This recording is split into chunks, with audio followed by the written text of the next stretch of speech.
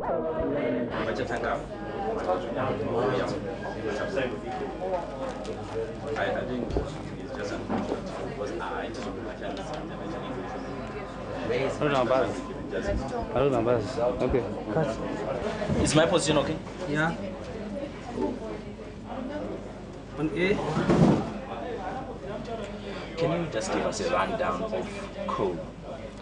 Well, the Commonwealth of Learning is the latest Commonwealth organization to be established.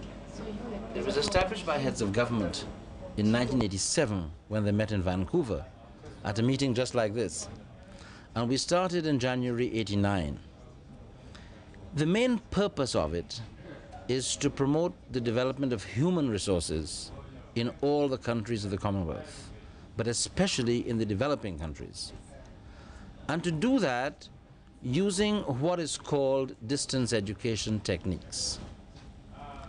The point, very simply, is that no country can any longer meet the demands for access to education if you rely only on the conventional system of schools and colleges and universities.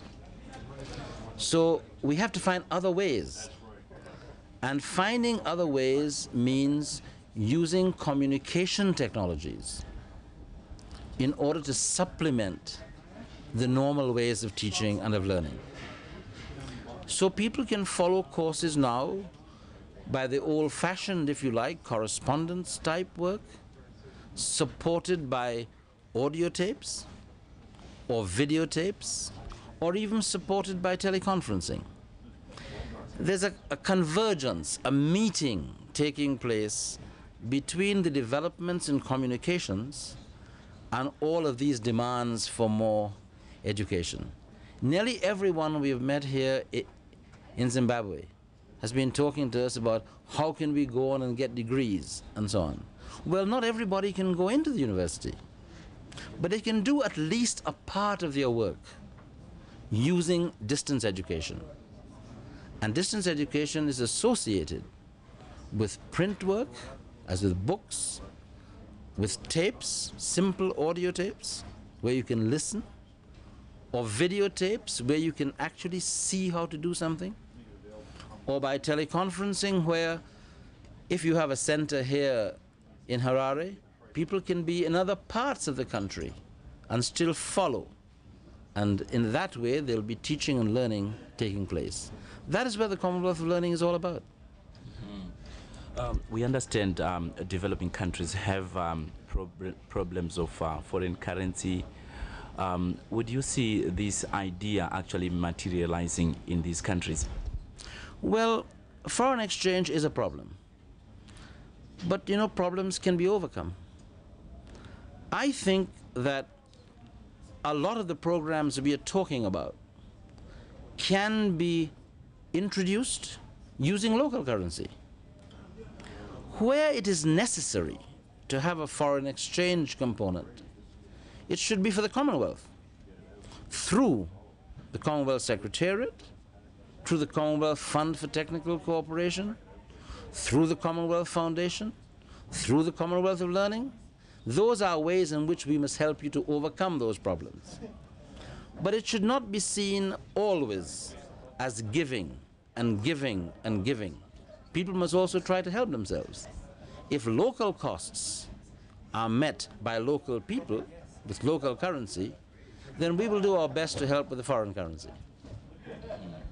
Do you think uh, this um, uh, you know, form of learning is at all ideal for Zimbabwe? I do not know about ideal, but I'm sure that Zimbabwe doesn't have any choice. Speaking to Minister Fay Chung this week, she was saying to me that 35,000 teachers in Zimbabwe have to be upgraded. How are you going to upgrade them? Are you going to take them all out of the schools and put them into colleges? You can't do that. So just to take that as one example, they will have to get some of their training by these techniques I'm talking about. Then they can be brought together for workshops on weekends or once a month and so on. So I believe that a combination of face-to-face -face teaching and learning at a distance is the only option that people have. And in other countries, it's working. Thousands of people in India are getting degrees by distance. We have just taken materials from Nigeria and given those materials to Guyana in the West Indies in order to upgrade their teachers. This morning, I presented to the um, Deputy Prime Minister of the Bahamas the Zimbabwe material in maths and science because they want to train their teachers of science and mathematics. So it is in this way that the developing countries working together can help each other. Everybody does not have to remake the wheel. If you have a good program in science, why can't you share it with others? If they have a good program in nursing, why can't you take it? This is what the Commonwealth is all about. Thank you. People helping each other. Thank you very much. Thank you very much. Very good. Thanks, Peter. from which Zimbabwe could learn.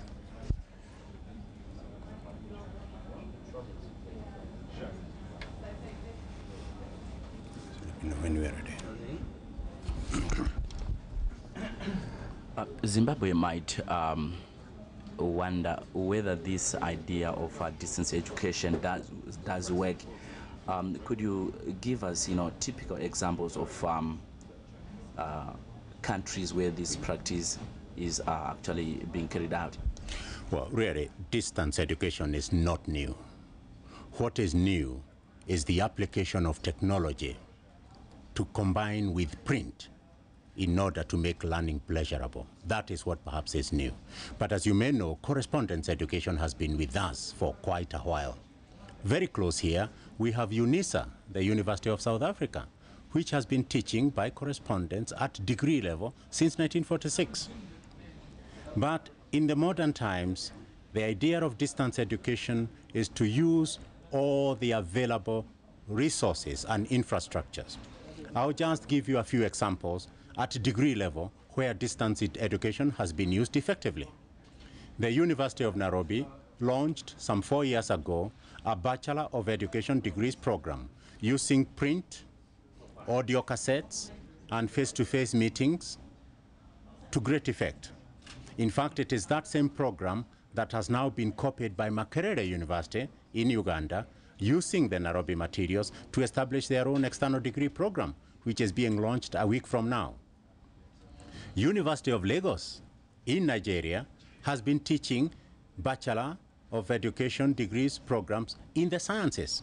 Some people think that you cannot teach science at a distance, but it can be done, provided you have the right combinations of the things that are required to make a student learn. They use print materials, audio cassettes, slides, videos, in regional centers where students can come and view the various programs. So what happens then, you see, is the effectiveness of one good teacher is multiplied many times. Whereas in the formal conventional system, one good teacher only benefits the 30 students in the classroom. But we are saying that through distance education, such a teacher can teach 3,000, 30,000, because the modern technology makes it possible. University of the West Indies in the Caribbean has been teaching distance education programs using teleconferencing system. Similarly, the University of South Pacific. In short, I'm saying that within the Commonwealth, we have many examples of successful distance education programs at all levels, at university, pre-university, secondary, teacher training, technical and vocational, nursing, continuing medical education for doctors, as well as teaching of literacy teachers by distance methods. So Zimbabwe has, I think, a very good beginning in that they don't have to start from scratch. There are enough examples around the Commonwealth from which Zimbabwe could improve on their programs. Thank you very much. That has been explicit. So do you want that tape running? Yeah, sure.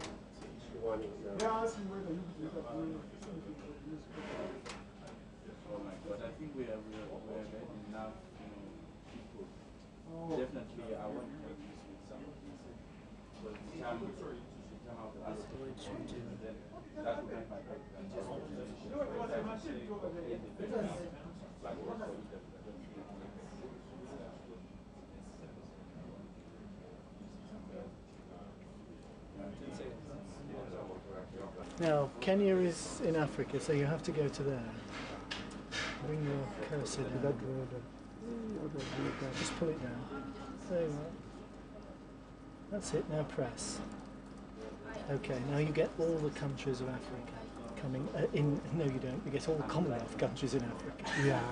From Kenya, I can see now. Kenya, Hold on, you can't you can't do it until actually you get the, the uh, mouse.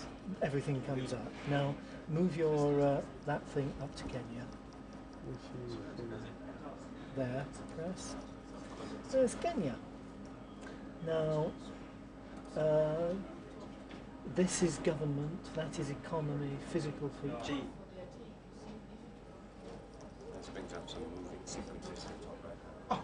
And there you are, a locust. Oh no, there's a film now. yes, that's a film. Video. Ah.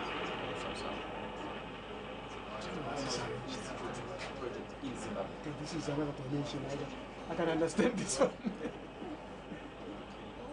so, what about that? Oh, we showing you which one? Oh, you'll get it repeated. Oh, okay.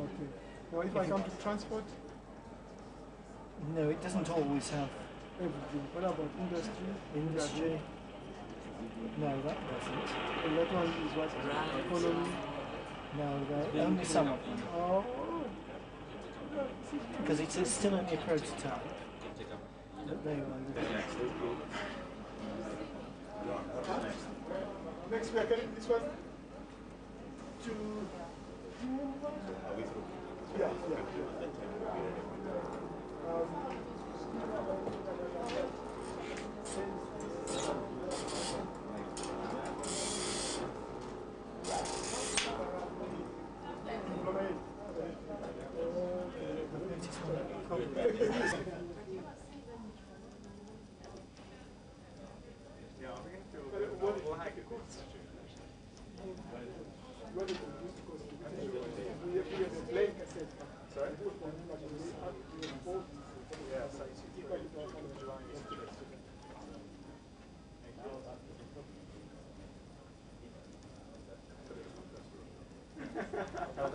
dizer. Eu não juro.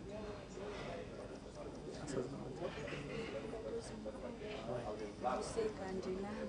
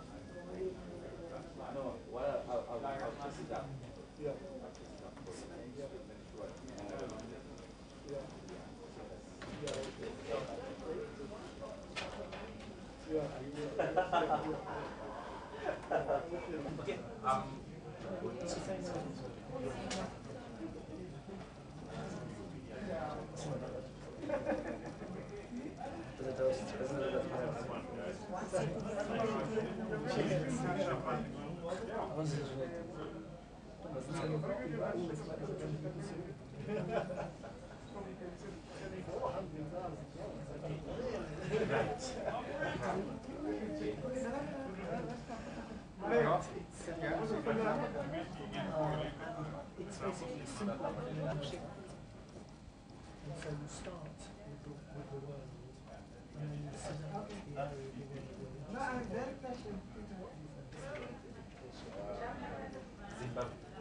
It does, it really does, yes, okay.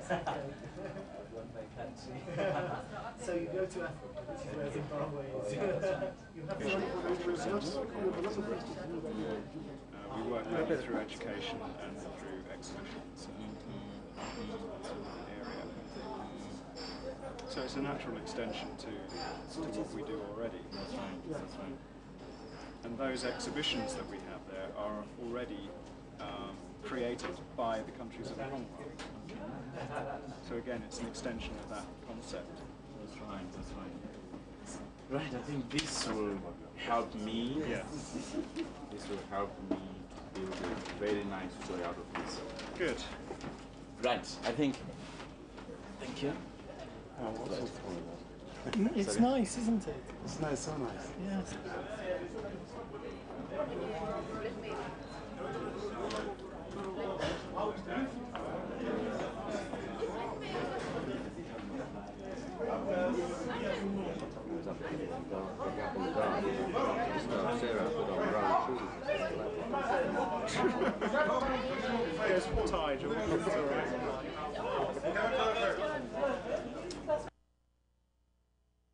The Commonwealth is not about people seizing power whilst the voters sleep. The Commonwealth is about free and fair elections, and that is fair. The Family Planning Association Do not take one. Commonwealth Take One. The Commonwealth of Learning is committed to finding and applying new methods of teacher education and training to complement conventional systems and speed a solution. Having been launched in Vancouver, Canada in 1988, Commonwealth of Learning has spread its feelers to all the 50 Commonwealth member countries. Improvements in quality of education are not easy to attain since the quality of education largely depends on the quality of teachers. And in a world suffering from the ravages of growth, repeat sentence, and in a world suffering from the ravages of growth and change, the supply of this human element has become severely constrained. Against this background, the Commonwealth of Learning, through its desire to triumph over the problems of education in Commonwealth countries, is busy seeking modern distance education technologies. And its latest technology is the video teleconferencing system. This system facilitates teaching and learning at a distance. Underlying, repeat paragraph, underlying, repeat para- paragraph. Underlying Cole's efforts is the Commonwealth Institute based in London. The institute is already a huge repository of information about the country's people and concerns of the modern Commonwealth. Professor Peter Kinyaunju, Professor Peter Kinyanjui of Cole said, the application of technology makes learning pleasurable. Can last one. Was not happy. Right, Commonwealth last take. The Commonwealth of Learning is committed to finding and applying new methods of teacher education and training to complement conventional systems and speed a solution. Having been launched in Vancouver, Canada in 1988, Commonwealth of Learning has spread its feelers to all the 50 Commonwealth member countries. Improvements in quality of education are not easy to attain since quality of education largely depends on the quality of teachers. And in a world suffering from the ravages of growth and change, the supply of this human element has become severely constrained. Against this background, the Commonwealth of Learning, through its desire to triumph over the problems of learning in Commonwealth countries, is busy seeking modern distance education technologies. And its latest technology is the video teleconferencing system. This system facilitates teaching and learning at a distance. Underlying Cole's efforts, repeat paragraph, underlying Cole's efforts is the Commonwealth Institute based in London. The institute is already a huge repository of information about the country's people and concerns of the modern Commonwealth. Professor Peter Kinyanjui of Cole said, the application of technology makes learning pleasurable. Thank you. Thank you, baby. I'm signing off. Uh,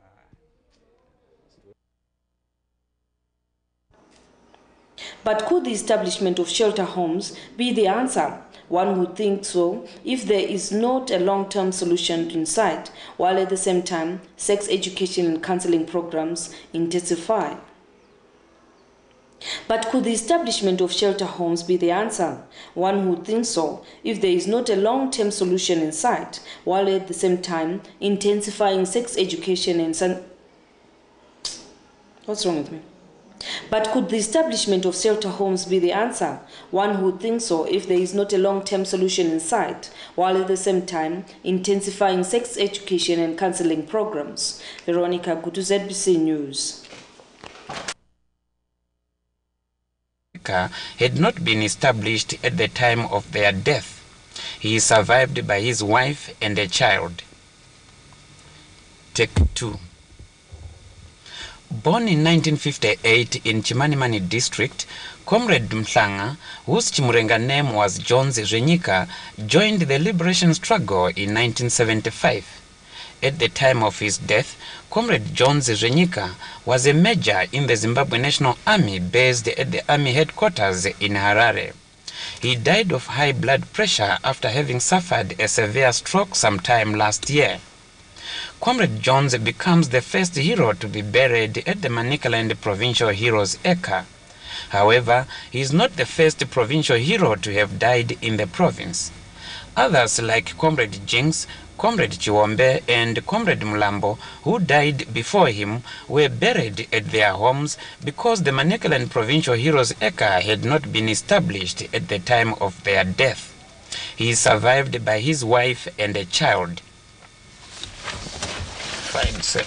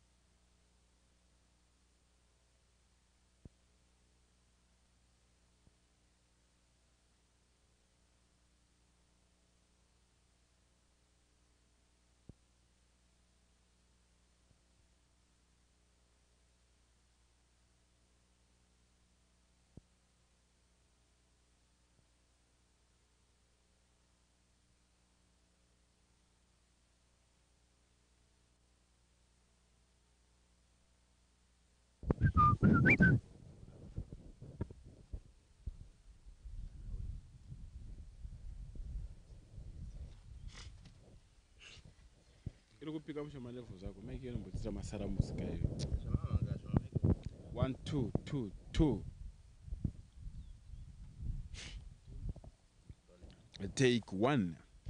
The ever increasing price of commodities coupled with some shortages at times is a phenomena that has become the order of the day in zimbabwe and according to comrade joyce mujuru is here to stay what then should people do to survive in these difficult times Minister Mujuru said while communal and urban people have access to engage in coming final take.